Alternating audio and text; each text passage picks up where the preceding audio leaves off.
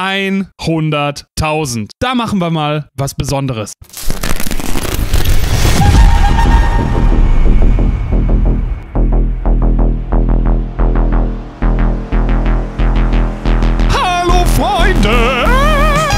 Herzlich willkommen zu Clownies 100k Special Welt. Ja, wir haben es geschafft. Wir sind bei 100.000 Abonnenten. Und ich habe nie ein so und so viel Subscriber Special gemacht. Ich finde das persönlich nicht nötig, wenn ich die Möglichkeit habe, ein Video über ein tagespolitisches Thema stattdessen zu machen. Finde ich dann wichtiger für mich persönlich. Natürlich freue ich mich gleichzeitig trotzdem, dass wir mittlerweile so viele Abonnenten hier vorfinden können. So viele Leute, die meine Worte berühren oder aufregen. Beides ist vollkommen in Ordnung. Und ich habe mir gedacht, komm, für 100.000 machen wir trotzdem mal was Besonderes. Es wurde sich jetzt schon von mehreren Seiten gewünscht, dass ich mal diesen politischen Kompass-Test mache. Und ich muss zum Anfang sagen, dass ich den Test eigentlich nicht mag. Ich finde, er ist zu abstrakt, er ist zu wenig in der realen Welt verankert. Viele Fragen sind zu doppeldeutig und politische Einstellung allein auf zwei Achsen festzuschreiben, ist in meinen Augen zu kurz gedacht, zu wenig komplex und wird auch nicht der Komplexität der realen Politik wirklich gerecht. Bei mir kommt es immer auf die spezielle Frage an, ob ich mir mehr staatliche Intervention wünsche oder nicht. Auch wenn ich mir generell gesehen möglichst wenig davon wünsche, muss natürlich trotzdem irgendjemand die Entscheidungen für Gesetze treffen. Und deswegen möchte ich eine kurze Kritik vorab schicken an diesen Test, an dieses Zwei-Achsen-Modell. Es gibt sicherlich bessere Tests. Es gibt zum Beispiel den Test 8 Values, der das zumindest versucht, noch ein bisschen mehr zu differenzieren auf einer ökonomischen Achse, die zwischen Wohlstand und äh, ja, Umverteilung rangiert, auf einer diplomatischen Achse, die zwischen eher Krieg oder eher Frieden differenziert, auf einer zivilen Achse, die zwischen libertär und autoritär unterscheidet und auf einer gesellschaftspolitischen Achse, die zwischen Tradition und Fortschritt unterscheidet. Aber auch hier kommt es bei jeder Frage auf eine realpolitische Sache an, um sich da wirklich ehrlich einordnen zu können. Kein normal denkender Mensch wäre gegen Fortschritt. Man muss sich aber erstmal anschauen, wie genau sieht denn dieser Fortschritt aus? Besteht er darin, dass ich dem E-Girl bei TikTok jetzt äh, eine Eiscreme spende und sie antwortet mit Eiscreme, yam yam? Ja, dann doch lieber die Tradition. Bei komplexen Fragen ist das schwer, weil sie kein in der realen Welt verankertes Beispiel vorweisen können. Es ist immerhin ein bisschen mehr. Reicht das vollkommen aus? Weiß ich nicht. Wenn all diese Modelle sich immer auf abstrakte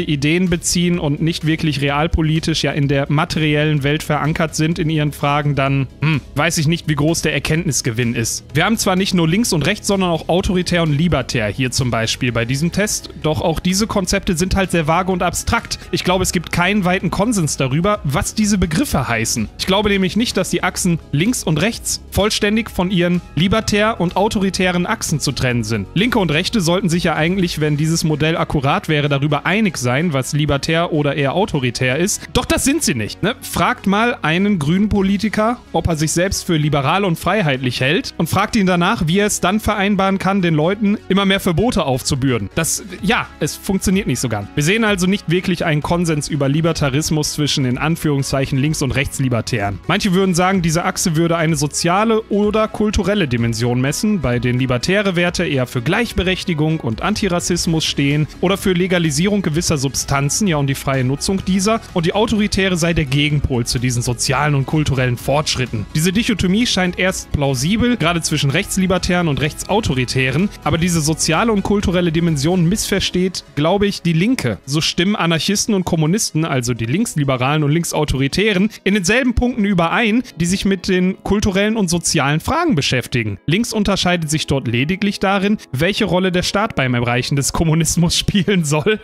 Deswegen sagen andere, diese Achse beschreibt, wie sehr der Staat in die Leben eingreifen soll. Wobei die Libertären eher gegen staatliche Intervention und dagegen die Autoritären für mehr Intervention vom Staat sind. Abstrakt gesehen ist das alles ganz schön, ich weiß, doch wenn man sich anschaut, wie eine anarchokapitalistische Vision durchgesetzt wird, mit einem privaten Staatsapparat, der alles organisiert und steuert, dann ist das ja halt auch ein Staat, der auch Steuern erhebt. Ist das dann nicht auch irgendwie autoritär? Nur halt kleiner. Und wenn ich jetzt einen äh, Linkskommunisten den Test machen lasse, landet er mit Sicherheit immer, egal wie autoritär er ist, im Quadrant links unten, also bei links libertär, weil Anarchisten und Kommunisten auf dasselbe Ziel hinarbeiten. Doch dieses Modell kann keinen Übergangszustand abbilden. Es suggeriert auch, es gäbe etwas Linkeres als Anarchismus oder Kommunismus, aber das Modell kann uns nicht erklären, warum wir diese Position nicht in der realen Welt vorfinden. Diese Modelle können nie akkurat abbilden, wie man steht, weil sie zuerst im Abstrakten entstehen mit abstrakten Ideen, die doppeldeutig sind, bevor versucht wird, sie auf die materielle Welt anzuwenden. Bewerten. Keines der Modelle kann die wahre Komplexität echter Politik darstellen. Man müsste also erst mit der materiellen menschlichen Realität beginnen, wenn man so ein Modell entwerfen wollte. Abgesehen davon, wie gesagt, sind diese Fragen für mich teilweise zu doppeldeutig und auch sehr geframed, sodass sie dich eigentlich so gut wie immer in den Bereich links unten reinzudrücken scheinen. Ich habe den jetzt zweimal mit demselben Ergebnis gemacht in den letzten Jahren, was immer zutage gefördert hat, ich bin links libertär. Würden meine Kritiker dem zustimmen? Wahrscheinlich nicht. Würde ich dem selbst zustimmen? Wahrscheinlich auch eher weniger. Weil dann würde ich ja die Linke wählen, ne? Das soll uns also von der Kritik reichen. Machen wir also den Test. Und ich sage dazu, ich werde wahrscheinlich immer wieder realpolitische Beispiele anführen zur Begründung meiner Entscheidungen, weil es sonst wirklich zu abstrakt ist und schwer zu erklären ist, warum man da oder da steht. Nun gut, also, erste Frage. Wenn die wirtschaftliche Globalisierung unvermeidlich ist, sollte sie in erster Linie der Menschheit und nicht den Interessen transnationaler Konzerne dienen. Ja, also unvermeidlich äh, scheint sie zu sein, würde ein Schwurbler sagen. Und äh, bisher hat bei jeder großen Krise der Profit irgendeines Konzerns auch eine Rolle gespielt. Ja, war die notwendige Folge dieser Krise. Wir erinnern uns an die letzten Jahre. An dieser Stelle ja, also dem Ideal, dass es dem Menschen dienen sollte, wenn es unvermeidlich wäre, ja, dem kann ich zustimmen. Ja, natürlich. Aber kann man global entscheiden, was für alle Menschen gut ist? Ja, sehen das die Menschen nicht individuell anders? Das wäre eine andere Frage. Nächste Frage. Ich würde mein Land immer unterstützen, egal ob es richtig oder falsch war. Nein, es ist eigentlich eine Frage des gesunden Menschenverstandes. Ich entscheide immer aufgrund der momentanen politischen Lage, ob ich das richtig finde oder falsch, mein Land zu unterstützen in dem, was es tut. Momentan finde ich es falsch aber das natürlich auf die Regierung bezogen. Also da muss ich entschieden widersprechen. Würde man jetzt zum Beispiel die Wehrpflicht reaktivieren und mich einziehen, würde ich das mit mir machen lassen, freiwillig? Ja? Würde ich für unsere Belange jetzt gerade kämpfen? Nein. Niemand wählt sein Geburtsland, daher ist es, so schreiben sie hier, dumm stolz darauf zu sein. Ja, auch hier wieder eine Frage, die halt unabhängig vom politischen Spektrum, zum Beispiel in den Vereinigten Staaten, eigentlich alle betrifft. Ne, die Demokraten und Republikaner sind sich einig darüber, dass sie stolz auf die USA sind. Eins der Haupt Hauptkriterien, gewählt zu werden als Präsident, ist zum Beispiel ein großer Patriot zu sein. Eins der Hauptkriterien. Zumindest die glaubwürdige Verkörperung des Patriotismus. Also nein, es ist äh, in meinen Augen nicht dumm, wie Sie hier schreiben. Es ist notwendig. Ich sehe diesen Stolz aber auch als eine Art Bescheidenheit. Ja, die Gewissheit, Teil eines Größeren zu sein, eines identitätsstiftenden Konzepts einer Nation was dich selbst aber natürlich auch als Politiker dazu bringen sollte, das Beste für dein Land zu wollen. Wenn ein Politiker nicht hinter seinem Land steht, nicht stolz darauf ist, wie soll er denn authentisch Gutes für sein Land tun? Für seine Leute, die sich unter diesem Konzept Nationalstaat in ihrer Identität vereinigt fühlen. Also nein, ich finde das nicht dumm. Und auch wenn Deutschland da ein großes Problem mit hat, die meisten anderen Länder sind in der Masse, wenn man ihre Leute fragen würde, stolz darauf, aus diesen Ländern zu kommen. Also da muss ich entschieden widersprechen. So, jetzt steht hier, unsere Rasse hat im Vergleich zu anderen Rassen viele überlegende Eigenschaften. W was soll das denn heißen? Es gibt doch gar keine Rassen. Entschieden widersprechen? Aber jetzt mal Butter bei die Fische. Wir alle kennen den Unterschied zwischen einem Japaner und einem Aborigine, das sollte klar sein. Aber ich glaube, auf dieser Ebene muss keine Politik gemacht werden. Von daher widerspreche ich da auf jeden Fall entschieden. Der Feind meines Feindes ist mein Freund, schreiben sie hier. Naja, das können wir jetzt zum Beispiel an einem realpolitischen Thema, jetzt zum Beispiel der Selbstbestimmungsgesetzdiskussion entscheiden. Ja, da wären Leute, die eigentlich gegen meine Standpunkte sprechen, wie eine Frau Alice Schwarzer, in dieser Thematik auf meiner Seite. Genauso wie aber auch die meisten normal denkenden Menschen in Deutschland. Ähm, von daher, was heißt denn Freund? Zweckbündnis und danach bekämpfen wir uns wieder gegenseitig? Also ist das wirklich ein Freund oder eher eine Zweckgemeinschaft? Ich glaube, bin da verschiedener Meinung. Wobei, ich versuche mich hier immer recht absolut einzuordnen. Man kann wahrscheinlich bei jeder Frage verschiedener Meinung sein, also pff, bringt uns aber kein gutes, eindeutiges Ergebnis. Von daher würde ich entschieden widersprechen. Ich würde eher sagen, vielleicht höchstens ein Komplize, ja, aber auch nur vorübergehend. Militärische Maßnahmen, die gegen das Völkerrecht verstoßen, sind manchmal gerechtfertigt, schreiben sie hier. Jetzt ist natürlich die Frage, was ist Völkerrecht wert, wenn es keinen Gerichtshof gibt, der dort wirkliche Urteile, die dann auch binden, für das jeweilige Land, was gegen das Völkerrecht verstößt, beschließen kann. Ich meine, Obama hat auch Krieg gegen Libyen angefangen, verstößt damit gegen den NATO-Angriffspakt und äh, ja, kriegt trotzdem den Friedensnobelpreis. Also wa was ist das wirklich wert? Ne? Gab es da Konsequenzen? Die Antwort ist nein. Also wenn man das Völkerrecht jetzt für voll nehmen würde und es gäbe eine Institution, die das wirklich bestrafen würde, wenn man dagegen verstoßen würde, dann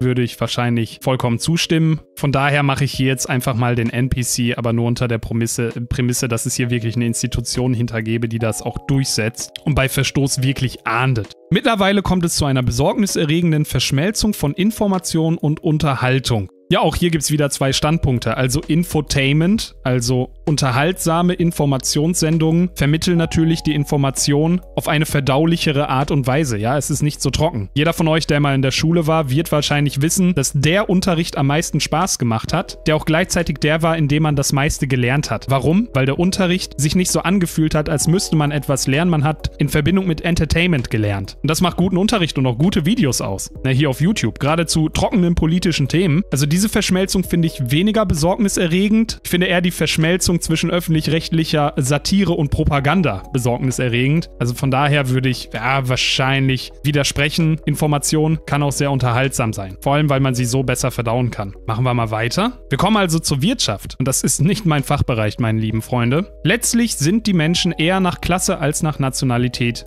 gespalten. Ich meine, was ist das wieder für eine Frage? Gibt es eine Spaltung im Land, wenn es um Wohlstand geht? Ja. Gibt es eine Spaltung im Land, wenn es um verschiedene Nationalitäten geht, die in diesem Land leben, die Parallelgesellschaften bilden? Ja, auch ja. Also hier fragt man eigentlich danach, äh, was ist mir wichtiger? Ist mir wichtiger, eine Umverteilung zu haben, die uns was den Wohlstand angeht, auf eine Ebene stellen, was nicht realistisch ist und auch unfair? Oder, also, äh, oder nach Nationalität gespalten? Also, ja, beides. Also ich würde da einfach sagen, verschiedener Meinung. Diese Frage ist halt wieder viel zu abstrakt. Denn man sucht immer realpolitische Beispiele dafür. Was sorgt denn gerade für die größten sozialen Zerwürfnisse in dieser Gesellschaft? Das sind wahrscheinlich die verschiedenen Nationalitäten und Parallelgesellschaften und nicht der Wohlstand. Hier würde wahrscheinlich jemand, der wirklich schlecht situiert ist, sagen, ja, die Klasse. Also von daher, na gut, wir machen mal die nächste. Die Kontrolle der Inflation ist wichtiger als die Kontrolle der Arbeitslosigkeit. Ey, was das hier für Dichotomien sind, ne? Auch hier, Leute, ey, keine Ahnung. Ich bin ja ganz ehrlich mit euch. Wenn die Inflation so hoch ist, dass man sich trotz Arbeit für das Geld dann nicht mehr was leisten kann, also kann man ja auch genauso gut arbeitslos sein, ich, ich weiß es nicht. Es ist ja auch nicht so, als hätten wir hier zu wenig Arbeitsplätze. Wir haben nur zu wenig Leute, die arbeiten wollen. also auch hier bin ich wahrscheinlich verschiedener Meinung. Ich kann mich da nicht klar einordnen. Da Unternehmen nicht darauf vertrauen können, dass sie freiwillig die Umwelt schützen, benötigen sie eine Regulierung. Wenn es um Umweltschutz geht, also dass man nicht seine Abwässer in irgendwelche Naturschutzgebiete ableitet oder so, da sind wir uns wahrscheinlich alle einig, dass wir das blöd finden und dass das reguliert werden muss. Wäre ja noch schöner, wenn jedes Unternehmen seine giftigen Abfälle einfach in die Natur schütten könnte und äh, keiner sie dafür bestrafen würde. Also da würde ich wahrscheinlich voll und ganz zustimmen, wobei ich mir ziemlich sicher bin, dass sie äh, diesen Begriff hier, ja, diesen hier, auch auf ein ganz anderes Krisenthema beziehen würden heutzutage. Das tue ich an der Stelle nicht, wenn es um Umweltschutz geht und den trenne ich ganz klar von einem anderen Themenbereich, ja, der momentan groß gemacht wird, dann stimme ich voll und ganz zu. Von jedem nach seinen Fähigkeiten, jedem nach seinen Bedürfnissen ist eine grundsätzlich gute Idee. Okay, das muss ich mal einmal auf Englisch übersetzen. Ich glaube, dass es wahrscheinlich ein anderes, ein anderer Sinn sich hier ergibt. Wahrscheinlich stimme ich hier auch zu. Je freier der Markt, desto freier die Menschen. Ich bin für den freien Markt, ich bin für möglichst wenig staatliche Intervention in den Markt, weil das immer eine Instrumentalisierung für politische Ziele beinhaltet. Und die Menschen, die Unternehmen aufbauen, sollten die gerne so führen dürfen, wie sie können. Der Markt regelt das. Wenn sie es schlecht tun, wenn die Arbeitsverhältnisse, die sie schaffen, schlecht sind, dann werden sie nicht erfolgreich sein. Es gibt da auch nicht wirklich immer ein Gut oder Schlecht. Freiheit auf der anderen Seite bringt oft Nachteile für die andere Seite. Das ist nun mal manchmal so, aber ich bin für einen freien Markt, für möglichst wenig staatliche Intervention. Ich finde nicht, dass der Staat eine planwirtschaftliche Steuerung der Wirtschaft und des Marktes anstreben sollte. Von daher stimme ich da voll und ganz zu. Es ist ein trauriges Spiegelbild unserer Gesellschaft, dass etwas so Grundlegendes wie Trinkwasser heute ein in Flaschen abgefülltes Markenprodukt ist. Hä? Ja, keine Ahnung. Also ich würde wahrscheinlich auch kein Wasser kaufen, wenn ich äh, einen Brunnen im Garten hätte, aber den hat ja keiner. Wobei ich an der Stelle sagen muss, ich trinke primär einfach stilles Leitungswasser. Es gibt ja auch viele Leute, die dann immer Wasserkästen durch die Gegend schleppen und ihr Auto damit vollpacken. Bin ich nicht so der Typ für. Mir reicht ein Glas Wasser oder eine Trinkflasche, die ich mir am Wasserhahn voll mache. Ich weiß nicht, inwiefern das traurig ist. Ich meine, freu dich doch, dass du überall Wasser kaufen kannst, wenn gerade kein Brunnen in der Nähe ist oder kein Wasserhahn. Ich verstehe schon, das hat hier so eine menschenrechtliche Perspektive. Ja, oh, es muss überall Wasser geben. Ja, ähm, ich weiß ja nicht, wie in einer öffentlichen Stadt zum Beispiel so ein, äh, in einer Fußgängerzone ein äh, Wasserspender aussehen würde, wenn der da ein Jahr lang steht. Äh, der wird wahrscheinlich auch für andere Dinge benutzt werden. Von daher, ja, ist schon in Ordnung. Ich glaube, es gibt äh, traurigere Spiegelbilder unserer Gesellschaft als das. Also nein, da widerspreche ich. Land sollte keine Ware sein, die man kaufen und verkaufen kann. Doch, natürlich. Grundbesitz ist ein Bestandteil von Unabhängigkeit. Ich glaube, gerade in der heutigen Zeit ist die sicherste Investition, die man machen kann, Land und darauf stehende Immobilien, das Eigenheim natürlich auch. Nicht zuletzt auch etwas, was man uns immer mehr wegnehmen möchte. Ne? Du sollst nichts besitzen und glücklich sein, äh, würden böse Stimmen munkeln. Wobei ich da auch einen differenzierteren Blick drauf habe. Gehört den Politikern wirklich das Land oder gehört es eher den Menschen, die darauf leben? Das ist eine Frage, auf der man rumdenken kann, aber grundsätzlich na klar, also wem gehört es dann? Es wird immer jemand Besitz darauf anmelden und sich das aneignen. Von daher, es wird notwendigerweise immer in die Richtung laufen, dass wir Land besitzen und kaufen können. Von daher stimme ich zu. Es ist einfach eine Realität. Es ist bedauerlich, dass viele persönliche Vermögen von Menschen gemacht werden, die einfach Geld manipulieren und nicht zur Gesellschaft beitragen. Ja, ich verstehe schon, was damit gemeint sein soll. Es gibt diese Menschen sicherlich. Das Ding ist halt nur, wer soll die Institution sein, die entscheidet, ab wann jemand Geld manipuliert. Und welche Leute stellen wir in diese Institution? Also ist das bedauerlich? Von mir aus. Es ist aber auch die Freiheit der Menschen, sich selbst zu bereichern und zur Gesellschaft nichts beizutragen. So liberal bin ich. Natürlich muss man da noch nicht den größten gesellschaftlichen Rückhalt dafür dann erwarten. Ich glaube, präziser kann ich das nicht beantworten, also bedauerlich ist es sicherlich ja. Wobei es mir wiederum zu wenig Konkretes. Ich brauche ein konkretes Beispiel, um da wirklich klarer Meinung zu sein. Ich meine, wenn jemand klug spekulieren kann und damit seine Kohle an der Börse macht, ist doch schön. Dann haben die Wirtschaft halt verstanden. Protektionismus ist manchmal im Handel erforderlich. Was wäre Protektionismus im Handel? Protektionismus ist eine Form der Handelspolitik, mit der ein Staat durch Handelshemmnisse versucht, ausländische Anbieter auf dem Inlandsmarkt zu benachteiligen, um inländische Anbieter vor ausländischer Konkurrenz zu schützen. Im Gegensatz ist der Freihandel. Ja, auch hier wieder eine Frage, wo man abwägen muss. Ne? Sollte ein Land am Ende des Tages das Beste für seine Leute und für die eigene Wirtschaft wollen und da dann lokale Händler bevorzugen? Oder sieht man das Ideal des freien Marktes darüber? Hier steht aber auch, dass es manchmal erforderlich ist. Ich glaube, es könnte von zu großer Abhängigkeit schützen. Wobei, wie gesagt, Wirtschaft ist nicht mein Hauptthema, bin da nicht drin. Ich würde zustimmen, dass das manchmal erforderlich ist. Es ist, glaube ich, immer gut, wenn ein Land sich zu einem großen Teil auch selbst versorgen kann in seiner Wirtschaft. Die einzige so soziale Verantwortung eines Unternehmens sollte darin bestehen, seinen Aktionären Gewinne zu erwirtschaften.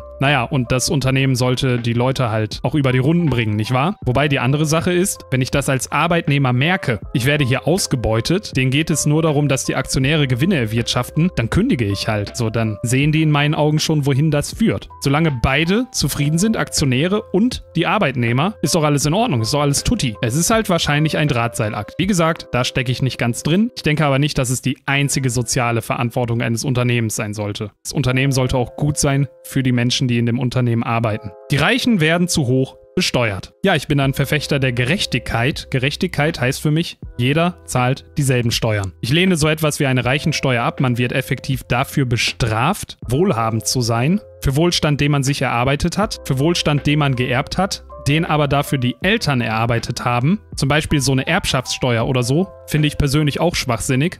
Ich finde, das ist eine Idee, die von Neid geprägt ist. Geld ist sicherlich nicht alles in dieser Welt, aber gerade die Leute, die sagen, dass Geld nicht alles sei, wollen meistens die Reichen höher besteuern. Wohlstand zu erben ist das eine, aber Wohlstand dann halten zu können, das ist die wahre Challenge. Und da denke ich zum Beispiel an die Familie äh, Bubatz, ne, die Lotto-Millionärsfamilie. Der ein oder andere kennt sie vielleicht. Ich meine, die haben ungefähr, boah, 4, 5 Millionen damals im Lotto-Jackpot gewonnen.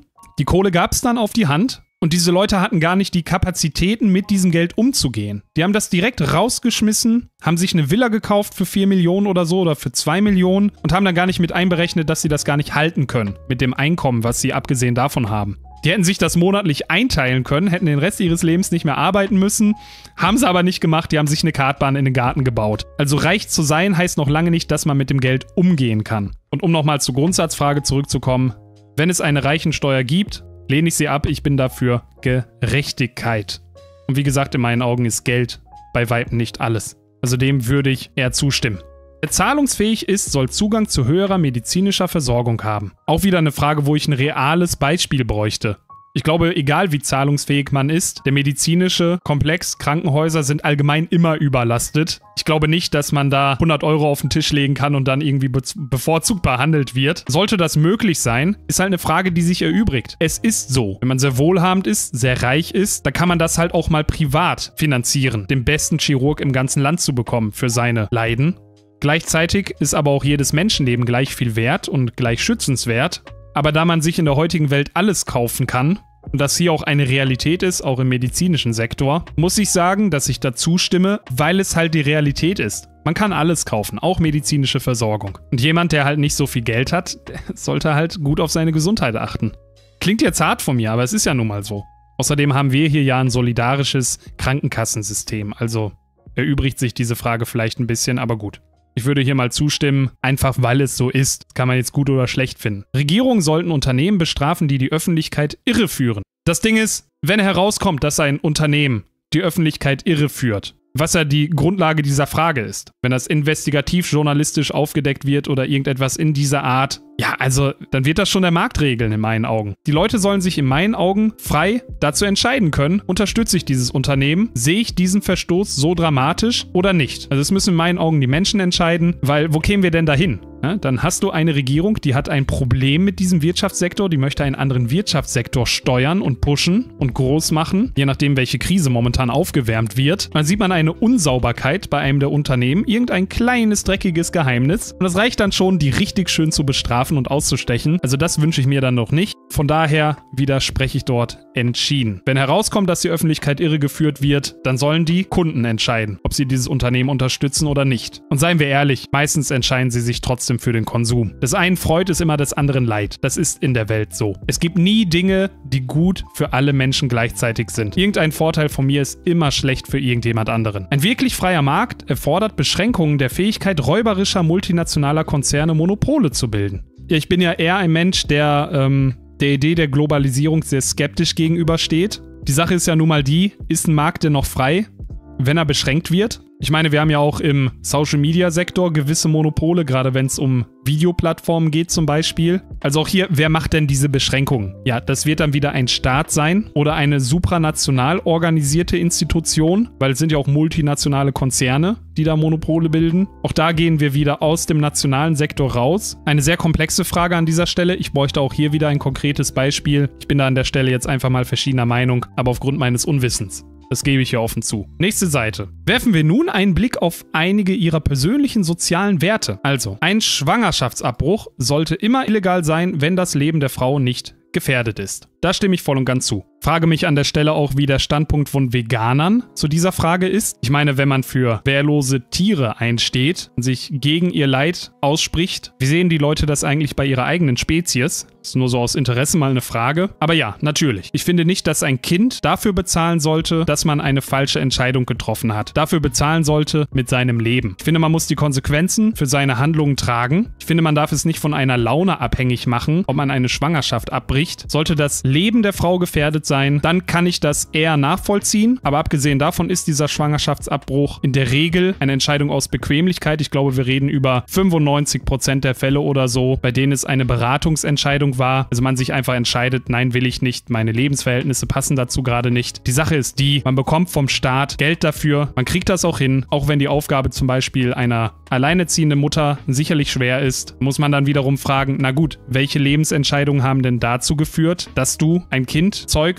mit jemandem, der nicht gut für dich ist. Ja? Muss man für die Konsequenz dieser falschen Entscheidung nicht auch gerade stehen? Sollte dafür ein Kind mit seinem Leben, also in meinen Augen nicht. So, jede Autorität sollte in Frage gestellt werden. Wenn man das so verstehen möchte, und hier sind wir bei der Doppeldeutigkeit, dass man hinterfragen muss, will diese Autorität denn das Gute für mich oder für sich? Oder sind diese beiden Belange gut ausgewogen? Dann würde ich sagen, muss man bei jeder Autorität diese Frage stellen. Ich meine, wenn ich Autoritäten nicht in Frage stellen würde, worin würde mein Content bestehen? Also klar, natürlich sollte man Autoritäten immer in Frage stellen, um danach zum Ergebnis zu kommen, finde ich gut oder nicht. Hier sind wir bei einem Gesetz, was wir aus der Tora kennen tatsächlich. Auge um Auge, Zahn um Zahn heißt es hier. Das war, soweit ich weiß, damals ein Gesetz, was im Judentum eingeführt wurde, tatsächlich auch als Abschwächung. Damals war es so, du nimmst mir mir mein Kamel, dann nehme ich dir halt deine Frau. Auge um Auge, Zahn um Zahn heißt, du nimmst mir mein Kamel, dann nehme ich dir dein Kamel weg. Es war Gerechtigkeit, ja, Auge um Auge, Zahn um Zahn, ist ausgleichende Gerechtigkeit, kalkuliert natürlich eine Form der Vergeltung mit ein, die ich zu einem gewissen Grad für einen natürlichen Instinkt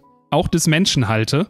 Ich glaube, ich bin der Meinung, dass es äh, in der Dynamik zwischen Volk und Führungsriege wahrscheinlich so zugehen sollte. Es sind in den letzten Jahren Dinge geschehen, auch in diesem Land, die wir der Regierung nicht einfach so vergeben sollten. Wenn man das jetzt auf persönlicher Ebene sieht, kann man das auch wieder anders betrachten. Während ich der Meinung bin, dass man für die politischen Verfehlungen der letzten Jahre zur Rechenschaft gezogen werden muss, ist es im persönlichen Umfeld wahrscheinlich was anderes. Wenn ich jemandem etwas nicht vergeben kann, dann trage ich das halt den Rest meines Lebens mit mir rum. Vergebung befreit nicht den, der die Tat ausgeübt hat, sondern auch den, den diese Tat zuteil geworden ist. Also ich sehe Vergebung als eine Form von Befreiung an, auch wenn dies immer noch von der einzelnen Frage abhängt. Grundsätzlich muss man sich hier nämlich auch fragen, ist dieser Satz nicht einfach Gerechtigkeit in seiner Reinform? Du nimmst mir mein Glas Wasser weg, dann nehme ich dir dein Glas Wasser weg oder nehme ich mir das Glas Wasser zurück? Auch hier kommt es wieder auf den Sachverhalt an. Grundsätzlich würde ich wahrscheinlich zustimmen, das ist Gerechtigkeit. Wenn jemand mich zum Beispiel körperlich angreifen sollte und ich mich dann körperlich zur Wehr setze und das nicht einfach über mich ergehen lassen sollte und dann vergebe in meiner endlosen Gnade, dann bin ich immer noch nicht, auch wenn ich diese Gegenwehr mit derselben Intensität leiste,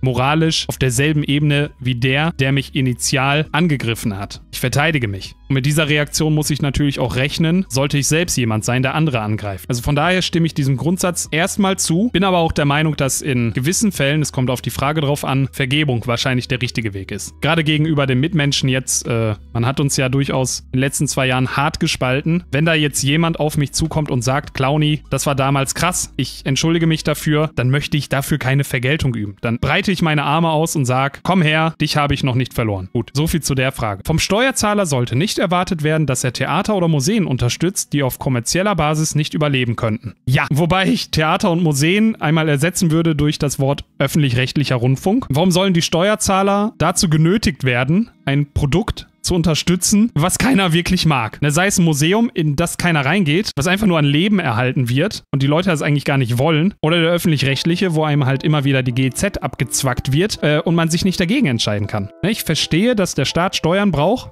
ich verstehe auch, dass der öffentlich-rechtliche irgendwie finanziert werden muss. Äh, das könnte man aber auch durch Steuergelder machen in meinen Augen. Dafür wäre das Geld da. Dieser Komplex wäre auch nicht so aufgeblasen wie heute. Und ich möchte jetzt auch nicht zu tief in die Diskussion über den öffentlich-rechtlichen als solchen gehen. Die Idee kann jeder gut finden, äh, wie es gerade läuft. Äh, äh, äh. Nein, auf keinen Fall. Also ja, ich stimme dem voll und ganz zu, das sollte nicht erwartet werden. Was wir alles für Einrichtungen unterstützen, die selbst nicht wirtschaftlich sind und auf kommerzieller Basis nicht überleben könnten, es ist unvorstellbar. Schulen sollten keine Präsenzpflicht im Unterricht vorschreiben.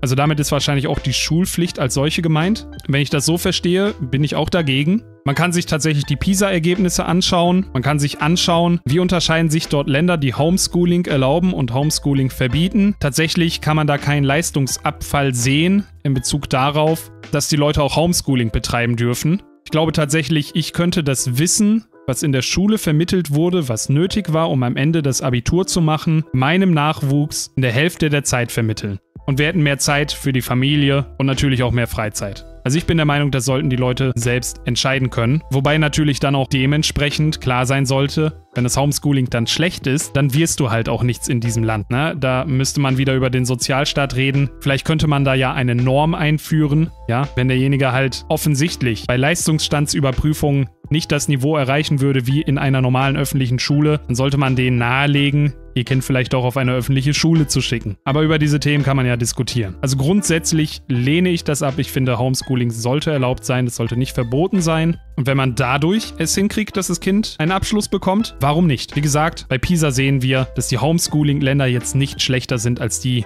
die eine Präsenzpflicht in der Schule haben. Und ich meine, das sollte ja klar sein. Wenn ich gebildet bin, wenn ich die nötigen Bildungsmaterialien bekomme, um Homeschooling zu betreiben oder mir die angeeignet habe, dann ist es natürlich besser, wenn ich individuell nur für ein Kind da sein muss, um seine Bildung zu gewährleisten, als es auf eine öffentliche Schule zu schicken, äh, wo in äh, fünf Sprachen äh, die Stimme der Lehrerin untergeht zwischen fliegenden Papierkugeln und äh, Propaganda. alle Menschen haben ihre Rechte, aber es ist für uns alle besser, dass unterschiedliche Menschen sich an ihres ihresgleichen halten. Also ich meine, das ist ja gesellschaftlich gesehen der Ist-Zustand. Das scheint ja dann irgendwelche Vorteile zu bringen, sonst hätten wir diese Gesellschaftsordnung so nicht. Auch hier wieder, also sich an ihresgleichen halten. Ja, also auf welcher Perspektive denn gedacht? auf der Herkunftsperspektive, auf der Perspektive, dass sie ein gemeinsames Hobby teilen oder was? Also diese Fragen sind halt echt ein bisschen abstrakt. Ist es zum Beispiel in Städten, bei denen es viele Leute aus verschiedenen Ländern gibt, gut für den Zusammenhalt dieser Stadt, für die gemeinsame Identität. Wir sind jetzt zum Beispiel Hamburger. Wenn sich die Leute eher ihrem Heimatland verpflichtet fühlen und sich nur mit diesen Leuten aufhalten, bilden sich Parallelgesellschaften, es findet eine Balkanisierung statt, es gibt keine einheitliche Identität, über die die Leute sich verbunden fühlen. Also das ist gut und schlecht zugleich. Also ich bin hier verschiedener Meinung, das ist zu unkonkret. Gute Eltern müssen ihre Kinder manchmal, ach großer Gott, also da widerspreche ich entschieden entschieden. Es hat sich gezeigt, dass positive Verstärkung, also die Verstärkung von gewünschten Verhalten durch Belohnung, eine bessere Erziehungsmaßnahme ist als Bestrafung in dieser Form. Und es ist barbarisch.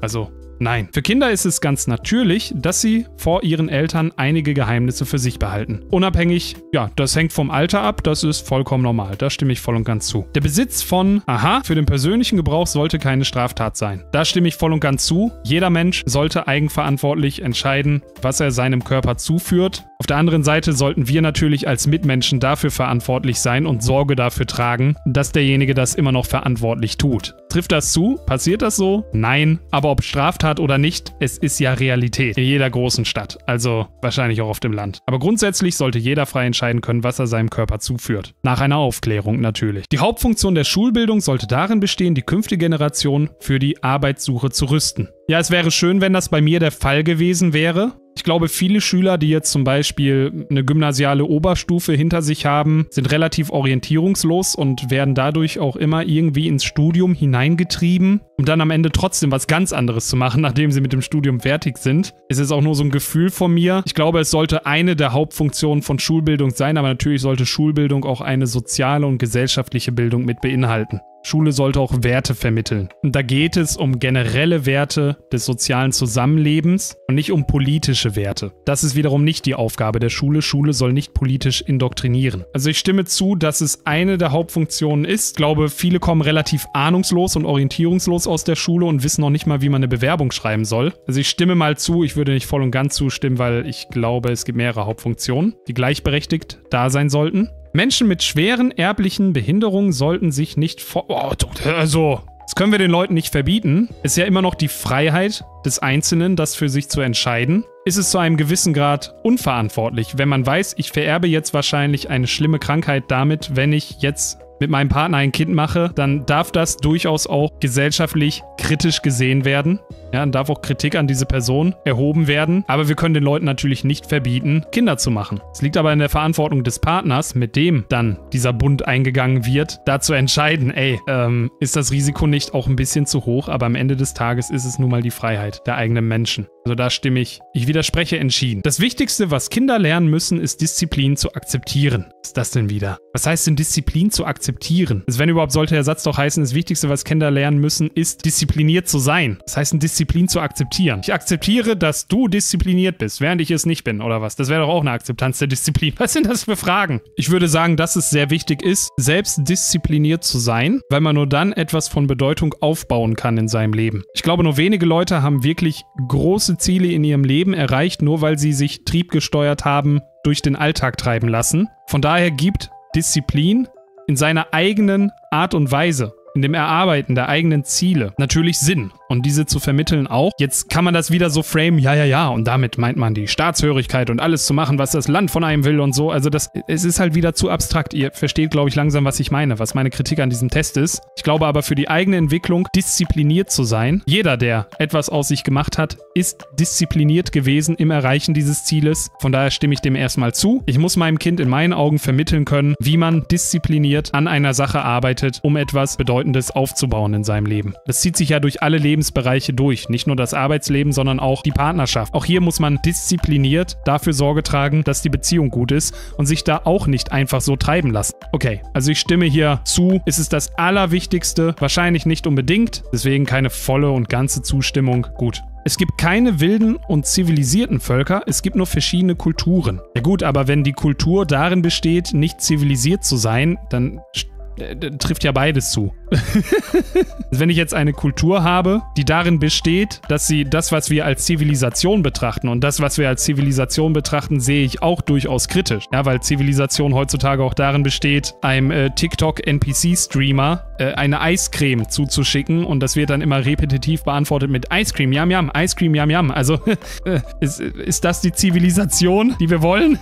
Andere Frage. Man kann das halt aus beiden Blickwinkeln sehen, ja. Ist es die, ist es die Kultur eines Naturvolkes, nicht zivilisiert zu sein? Oder sind sie nur in ihren eigenen Maßstäben zivilisiert? Also auch hier wieder, da kann man verschiedener Meinung sein in meinen Augen. Man kann das hier in beide Richtungen verstehen. Von daher, ja, ich mag die Fragen einfach nicht.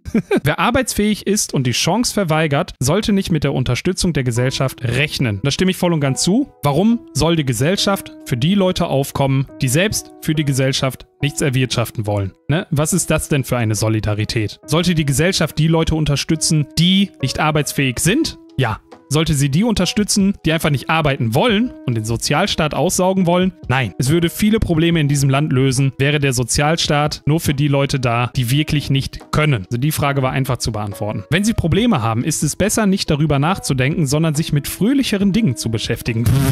Was? Dem widerspreche ich entschieden. Probleme zu verdrängen macht sie nur noch schlimmer. Einwanderer der ersten Generation können in ihrem neuen Land nie vollständig integriert werden. Ja, ich meine, da könnte man jetzt natürlich die Zuwanderer fragen aus den 90er Jahren. Also ich selbst kenne aus meiner Lebenswirklichkeit, es war damals ein Kindheitsfreund von mir, ein türkischer Kindheitsfreund, ähm, der dann in zweiter Generation ein Abitur gemacht hat, ist auch dann am Ende aus Deutschland ausgewandert und hat seine Karriere im Ausland dann verwirklicht. Ähm, der war super integriert.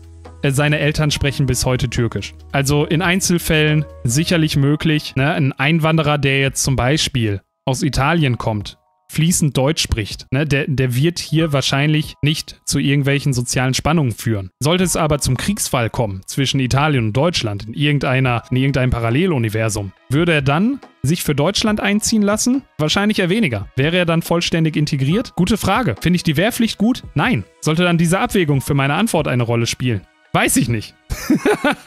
also wirklich vollständig ich glaube nicht. Ist unrealistisch. Ich glaube, die Vergangenheit hat das gezeigt. Da muss natürlich auch der eigene Wille für da sein. Ich habe es jetzt aus meiner eigenen Lebenswirklichkeit damals mit der türkischen Familie, wo ich damals einen guten Kindheitsfreund hatte, so erfahren, äh, dass die natürlich immer noch eher muslimische Werte leben, immer noch türkisch zu Hause reden. Und ich denke, einige der türkischen Zuschauer hier werden mir auch zustimmen. Oma und Opa und Mama und Papa werden in der Tendenz wahrscheinlich zu Hause eher türkisch sprechen und damit schlechter Deutsch, als sie eigentlich müssten, um vollständig integriert zu sein. Also ich stimme an dieser Stelle zu. Was für die erfolgreichsten Unternehmen gut ist, ist letztendlich immer gut für uns alle. Dem widerspreche ich entschieden. Kommt wieder auf die Frage an, aber äh, ich denke nicht. Keine Rundfunkanstalt, so unabhängig der Inhalt auch sein mag, sollte öffentliche Mittel erhalten. Ja, mittlerweile bin ich der Meinung, dass dem so ist. Ich glaube, wenn der öffentlich-rechtliche sich auf dem Markt beweisen müsste und damit einen Ruf zu verteidigen hätte, den er dann auch finanziell einbüßt, wenn er intransparent ist, wenn er manipuliert, dann würde er sich wahrscheinlich auch anders gestalten. Deswegen bin ich der Meinung, öffentlich-rechtlicher gehört in meinen Augen abgeschafft. Wir haben genug Zeitungen quer über das gesamte politische Spektrum. Man kann sich ausgewogen informieren und sich dann eine Meinung bilden. Der öffentlich-rechtliche ist in meinen Augen so tendenziös, dass das nicht wirklich zu einer neutralen Meinungsbildung beiträgt. Von daher gehört auch der Rundfunkbeitrag abgeschafft. Dieser Neutralitätsanspruch steht halt nur auf dem Papier, wirklich umgesetzt wird er nicht. Äh, von daher verdienen die, glaube ich, auch nicht das Geld der Allgemeinheit für das, was sie tun. Also da stimme ich voll und ganz zu. Also jetzt wird geprüft, wie sehen wir die Gesellschaft als Ganzes. Unsere bürgerlichen Freiheiten werden im Namen der übermäßig eingeschränkt. Ich glaube, das ist eine Frage, die kommt noch aus dem Jahr 2001. es wird zu einem gewissen Grad notwendig sein, aber es ist eher eine Symptombekämpfung als eine Ursachenbekämpfung des Ganzen. Also ich bin der Meinung, der Staat sollte da eher die Ursachen solcher Bestrebungen bekämpfen, als mit Freiheitseinschränkungen die gesamte Bevölkerung zu gängeln und dann nichts weiter an dem Problem zu unternehmen. Wobei das auch immer ein Vorwand sein kann, um Freiheit einzuschränken. Ne, genauso wie andere Krisen. Die Krisen wechseln sich ab. Ich glaube nicht, dass das hier gerade das präsente Thema ist, gerade in unserem Land. Es ist ja egal, welche Angst. Sie wird ja eh immer dafür genutzt, um unsere Freiheit einzuschränken. Also ich stimme hier mal tendenziell zu. Wobei natürlich die Frage ist, naja, kann man es effektiv wirklich verhindern? Passt sich das hier nicht auch der Art der Einschränkung an, um dann trotzdem ausgeübt zu werden? Ein wesentlicher Vorteil eines Einparteienstaates besteht darin, dass er alle Argumente vermeidet, die den Fortschritt in einem demokratischen politischen System verzögern. Dem stimme ich voll und ganz zu. Ist das gut für die Menschen? Andere Frage. Wenn es wirklich die Herrschaft des Volkes sein soll, ja, dann muss es halt die Zeit für Abstimmungen geben. In meinen Augen auch auf Volksebene. Ja, Volksabstimmungen. Ich bin ein großer Verfechter davon. Wobei auf der anderen Seite, wenn ich mir anschaue, dass wir 40% Nichtwähler haben, also Leute, die sich ja faktisch entweder aus Resignation oder aus nicht vorhandenen Interesse dagegen entscheiden, überhaupt das bisschen Teilhabe, was sie denn überhaupt haben, einzusetzen. Ich glaube, die wären auch nicht traurig, um einen König, ja, weil ihnen ja eh egal ist, wer jetzt an der Macht ist. Ich bin mir da manchmal nicht sicher, wie groß die Abneigung von einem Einparteienstaat wäre, was einen auch in Sorge versetzen kann auf der anderen Seite. Auf der anderen Seite kann ich es verstehen. Alle vier Jahre machst du ein Kreuz und das war dann die große Demokratie mit diesem Glauben, dass du wirklich darin vertraust, man würde dann dein Parteiprogramm umsetzen, was dann durch Koalitionsbildung immer weiter verwischt wird. Und was beeinflusst die Wahlentscheidung? Sind es nicht die Medien? Ist es nicht auch teilweise eine Schattenoligarchie? Der, der die Medien in die Hand hat, beeinflusst die Köpfe und die Köpfe wählen dann wiederum. Also auch dieses System ist nicht lupenrein. Ne, der Weg, das auszuhebeln, wäre zum Beispiel, dass man den Leuten persönlich die Gesetzentwürfe hinlegt und sie da abstimmen müssen auf Bundesebene. Das wäre halt wirkliche Demokratie. Ja, da wäre wirklich das Volk an der Macht und es müsste sich nicht die ganze Zeit in ein Vertrauen begeben, dass irgendjemand vielleicht mal wirklich das umsetzt und nicht durch eine Koalition verwischen lässt, was in seinem Programm steht, für das man sie ja auch gewählt hat. Solange nicht gewährleistet ist, dass der Wille des Volkes glaubhaft durch seine Vertreter umgesetzt wird, sind Volksabstimmungen in meinen Augen unvermeidbar, um wirkliche Demokratie herbeizuführen. Sind die Leute dafür kompetent genug? auch mal wieder eine andere Frage. Aber auch dort ist es dann die Freiheit der Leute halt zu wählen oder nicht. Dann herrschen halt die Leute in der Demokratie, die halt auch daran interessiert sind. Für die Nichtwähler macht das wahrscheinlich eh keinen Unterschied. Oder vielleicht doch, wer weiß. Wenn Nichtwähler unter euch sind, kommentiert gerne. Ob ihr wählen würdet, würde es Volksabstimmungen geben. Obwohl das elektronische Zeitalter die behördliche Überwachung erleichtert, müssen sich nur die Täter Sorgen machen. Dem widerspreche ich entschieden. Sollte klar sein, warum muss ich nicht näher ausführen. Für das schwerste Verbrechen sollte die Todesstrafe eine Option sein, schreiben sie hier. Ne? Was ist das schwerste Verbrechen? Ich glaube, da ist jeder, hat da jeder seine ganz eigene Vision von. Es gibt viele schlimme Dinge, die man sich vorstellen kann. Ich stimme voll und ganz zu. Allein für die Abschreckungswirkung. In einer zivilisierten Gesellschaft muss es immer Menschen oben geben, denen man gehorchen kann und Menschen unten, denen man Befehle erteilen kann. Das ist halt wieder so hart geframed, Befehle erteilen und so. Also die Leute, die die Geschicke einer Gesellschaft lenken, haben sich halt ja, nun mal in dieser Hierarchie hervorgetan. Das ist etwas, das wird sich immer herausbilden, auch wenn wir eine komplett staatenlose Gesellschaft hätten, die keinerlei Institution hat, die die Geschicke der Welt dementsprechend lenkt, werden sich diese Hierarchien immer zwischen den Menschen herausbilden. Das liegt in unserer Natur. Also diese Frage ist hier sehr krass geframed. Sie will einen hier hineinnatschen, da entschieden zu widersprechen. Die Sache ist nun mal, es ist halt das, was wir vorfinden. Es ist das, was sich immer herausentwickelt. Hierarchien sind überall zu sehen, ob im Kommunismus oder im Kapitalismus. Von daher stimme ich da voll und ganz zu. Die sind einfach gegeben. Abstrakte Kunst, die nichts darstellt, sollte überhaupt nicht als Kunst betrachtet werden. Ja, ich persönlich betrachte sie nicht als Kunst. Es ist jetzt eine Verschwörungstheorie an der Stelle, aber ich bin der Meinung, dass dieser, zumindest in Teilen, der Markt der abstrakten Kunst eigentlich so eine Art Spekulationsmarkt ist. Böse Stimmen würden sagen, auch einfach ein Mittel zur Geldwäsche. Ich sehe da nicht den menschlichen Geist drin, den Sinn der Ästhetik, der Schönheit. Und Schönheit ist ein gesellschaftlicher Konsens, Schönheit ist auch objektiv. Ich glaube, wenn wir den Leuten ein Bild von Leonardo da Vinci zeigen und dagegen dann, äh, weiß ich nicht, ein Bild, wo jemand äh, eine Melone an die Wand geworfen hat, äh, ich glaube, es ist vollkommen klar, welches Bild die Leute wählen würden. Ich habe das Gefühl, da wird manchmal einfach nur eine Begründung dafür geschaffen, da einfach Geld reinzubuttern, ja, das als Spekulationsobjekt zu betrachten. Da gibt es dann jemanden, der bestimmt dann aus dem Leeren gegriffen einen Wert dafür, was dort äh, veranstaltet wurde, auf der Leinwand zum Beispiel. Und dann äh, wird da halt groß investiert, um das dann weiter zu verkaufen oder so. Ja, um äh, damit dann zum Beispiel auch in manchen Fällen Geld zu waschen. Also nein, also ich betrachte das überhaupt nicht als Kunst, ist aber auch eine sehr persönliche Frage. Bisher hat mich noch nie ein abstraktes Bild oder ein abstraktes Kunstwerk in irgendeiner Art und Weise wirklich berührt. Hat mir irgendeine, irgendeinen Respekt abgerungen für den Künstler. Ähm, meistens, also ich möchte Kunst sehen, die mir klar macht, wow, zu was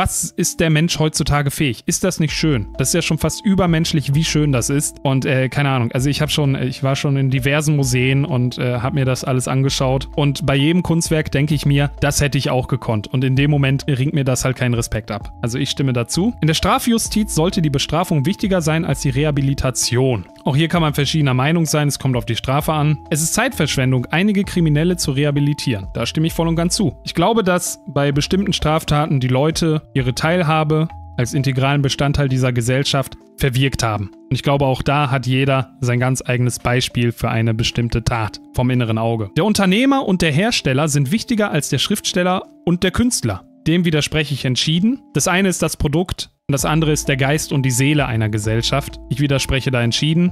Wobei, Bücher können wir halt auch nicht essen, ne?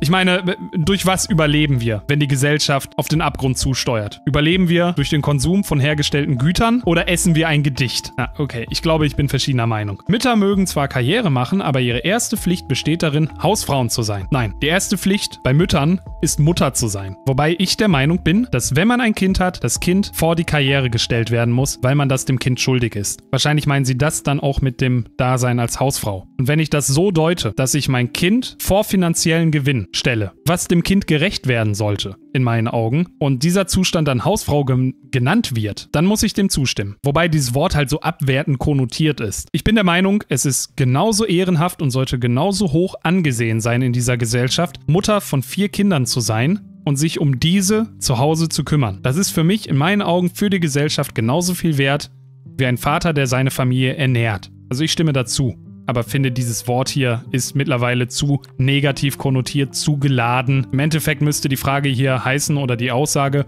Mütter mögen zwar Karriere machen, aber ihre erste Pflicht besteht darin, Mutter zu sein. Insofern stimme ich dazu nur für euer Verständnis. Multinationale Unternehmen nutzen die pflanzengenetischen Ressourcen von Entwicklungsländern auf unethische Weise aus. Hier brauche ich ein konkretes Beispiel. Wird wahrscheinlich passieren, kann durchaus sein. Zustimmen. Mache ich jetzt mal erstmal. Frieden mit dem Establishment zu schließen ist ein wichtiger Aspekt der Reife. Tja, dann sind wir alle, die nicht bei dem Current Thing mitmachen, also einfach nur unreif oder was? Also nein, auf keinen Fall. Also das, ist doch eher ein Zeichen von Reife, hinter die Strukturen zu schauen und diese auch kritisieren zu können. Also da widerspreche ich entschieden. Nächste Seite, das ist auch die vorletzte. Astrologie erklärt viele Dinge genau. Astrologie, das ist doch dieses ESO-Zeug, oder? Also ich glaube nicht. Das heißt doch hier, oh, hier, du hast das und das Sternzeichen, wir kommen gut miteinander klar. Also nee, das halte ich für Schwachsinn. Oder hier, oh, die Planeten stehen in einer Reihe, äh, morgen wird's regnen. Also nein. Man kann nicht moralisch sein, ohne religiös zu sein. Dem stimme ich voll und ganz zu, weil unsere Moral immer religiös anmutenden Idealen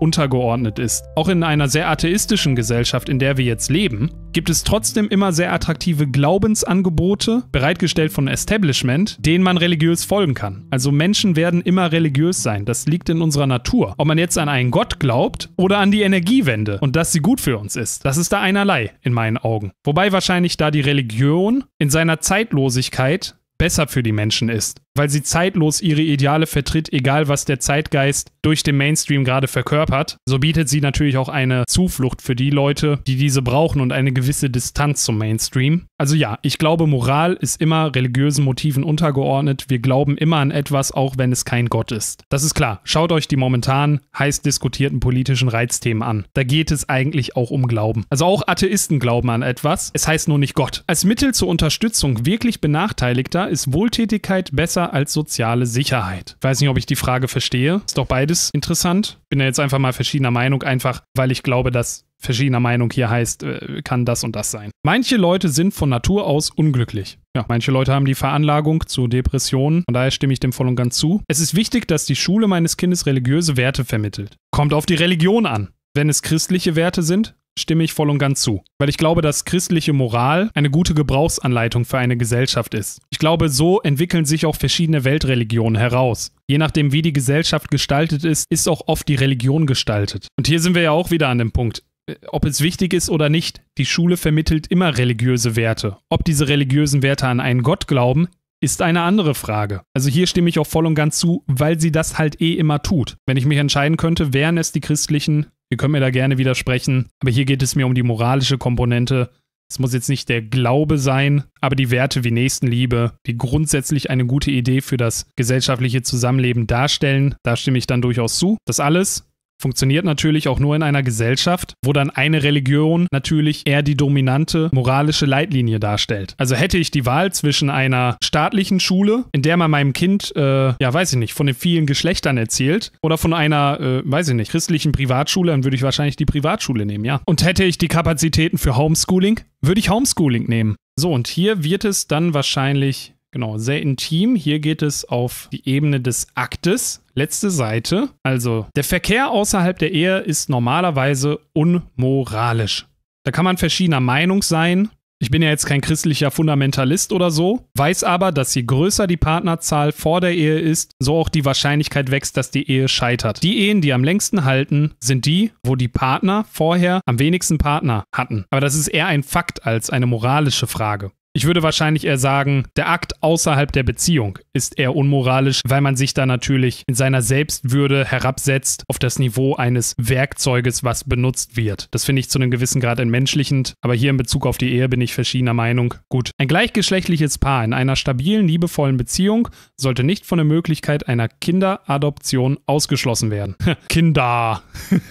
ich bin persönlich der Meinung, dass ein Kind immer eine Mutter und eine Vaterfigur braucht. Bevor aber ein Kind gar keine Eltern hat, bin ich natürlich der Meinung, eine stabile, liebevolle Beziehung vorherrscht. Warum sollte man die Leute ausschließen? Das Leben des Kindes kann nur besser werden durch Eltern. Aber Adoption ist an sich sowieso sehr schwer. Da geht man nicht einfach hin und sagt, geben Sie mir mal ein Kind mit. Ja, hier geht es um Erwachsenenfilme. Die einwilligende Erwachsene darstellt, sollte für die erwachsene Bevölkerung legal sein. Dem stimme ich zu. Jeder darf sich anschauen, was er möchte, aber es bräuchte ein anderes gesellschaftliches Klima in Bezug darauf. Ich glaube, es braucht mehr gesellschaftliche Ächtung ich bin nämlich der Meinung, dass wir die negativen Folgen eines übermäßigen Konsums davon zu sehr ausblenden und das Ganze nicht kritisch genug betrachten. Das macht was mit dem Gehirn. Es gibt auch eine Tendenz zum Extremen, die dann aufkommt, weil irgendwann der Reiz wichtig ist und dieser immer aufrechterhalten werden muss und so muss die Dosis erhöht werden und da, ja, in diesem Fall kann sich jeder vorstellen, wie das aussieht. Da wird es dann immer absurder. Äh, von daher sollte darüber aufgeklärt sein und es sollte ein gesellschaftliches äh, Stigma in dieser Hinsicht durchaus bestehen, in meinen Augen. Es ist natürlich am Ende des Tages Privatsache und legal sollte es durchaus sein. Verbieten kann man es wahrscheinlich eh nicht. Wären wir eine bessere Gesellschaft ohne das? Wahrscheinlich schon. Wahrscheinlich schon. Was in einem privaten Schlafzimmer zwischen einwilligen Erwachsenen vor sich geht, geht den Staat nichts an. Dem stimme ich voll und ganz zu. Den Staat geht mein Privatleben nichts an. Niemand kann sich von Natur aus fühlen, sagt hier diese Frage und diese Aussage. Da frage ich mich auch immer, warum wird das nicht mehr erforscht? Bin schon der Meinung, dass Sexualität zu einem gewissen Grad auch gesellschaftlich geprägt ist. Ich meine, da kann man in die Verhaltensbiologie gehen. Da ist allgemeiner Konsens, dass Verhalten, und wir reden hier über ein Verhalten sexueller Natur, immer zu einem Teil genetisch beeinflusst ist und zu einem anderen Teil durch das Umfeld. Kann man sich so fühlen? Von Natur aus? Wahrscheinlich schon. Spielt bei vielen Leuten aber auch ein Ereignis aus der Kindheit eine Rolle oder eine gesellschaftliche Prägung um sie herum. Ich glaube, das kann man auch nicht ausschließen. Von daher bin ich da verschiedener Meinung, weil ich glaube, dass ein gesellschaftlicher Einfluss auf die Sexualität und der natürliche Einfluss miteinander in einem dialektischen Verhältnis stehen. Aber das glaube ich auch nur, das weiß ich nicht. Ich frage mich, warum man da nicht mehr forscht. Heutzutage ist die Offenheit gegenüber dem hier zu weit gegangen. Dem stimme ich voll und ganz zu. Ich denke, jeder, der mich kennt, weiß das.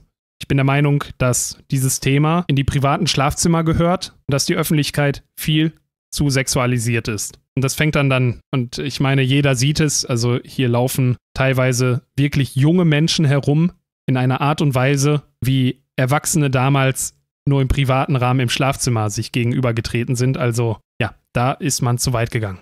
Schauen wir, wo ich stehe, meine lieben Freunde.